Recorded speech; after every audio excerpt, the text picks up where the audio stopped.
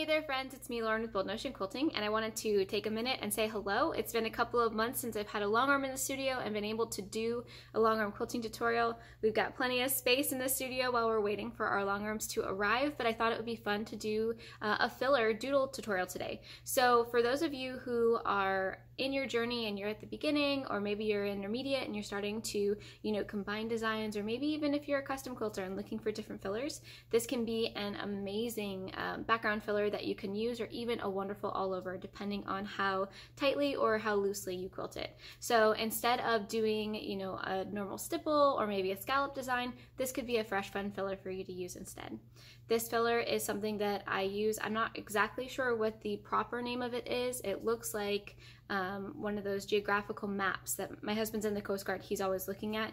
Um, and so we've got a lot of different, you know, lines and squiggles and designs in there. So let's take a minute and let's go check out uh, how to doodle out this design. While we've got the morning sunrise playing nicely, let's go ahead and take a look at how to do this design. So normally when you're doing a stipple, you're following a stipple kind of haphazardly around. Some people will call it meandering about, right? So this design is a lot like this, but it's a little more open and it's a little more, um, I like to call it masculine because it's just different than your ordinary quilting, and most quilting is associated with feminine designs. So if you actually take this design and you start up and you do really wide swings, I like to come in and do a flick out, okay? Then you follow it in about a quarter of an inch or so. Leave space to get out of there.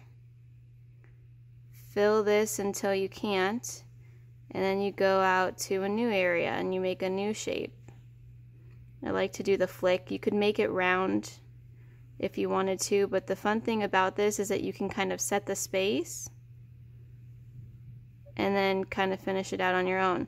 And the goal is to try to keep these designs kind of similar in spacing, but you'll notice that when you quilt these areas that you leave a little bit bigger, they're going to draw your eye to it as you're quilting. So you can just come around and do little ones if you need to to fill the space. Let's see what it looks like if we do a circle. And you don't have to get all the way in there.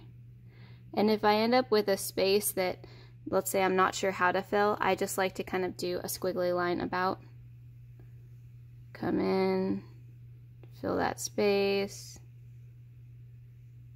Just make sure that you fill it all up and that you leave yourself room to get out, squiggly line. And then, look, we're trapped. So let's get out of here. You can do a little one.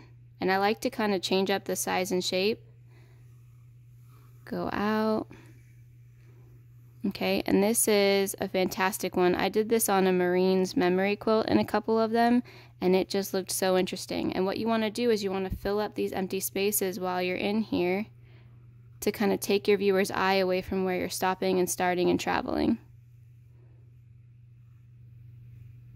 Maybe you just want to get out of there and not have to come back in. It's okay to have more than one point.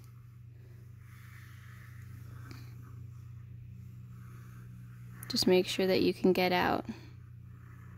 And I like to change up where I stop and where I start.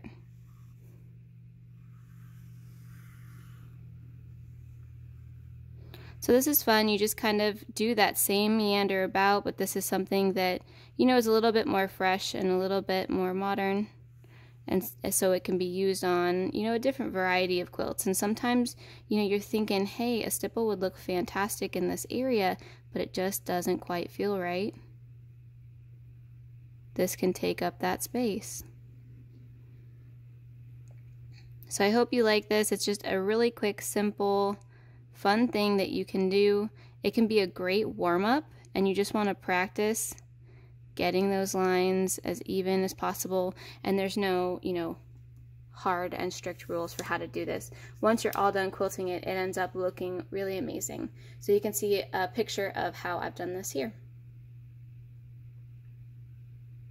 Thanks again for watching this fun doodle tutorial. I hope you enjoyed it. I cannot wait until my long arms are back in shop now that we have set up a shop in Brooksville, Florida.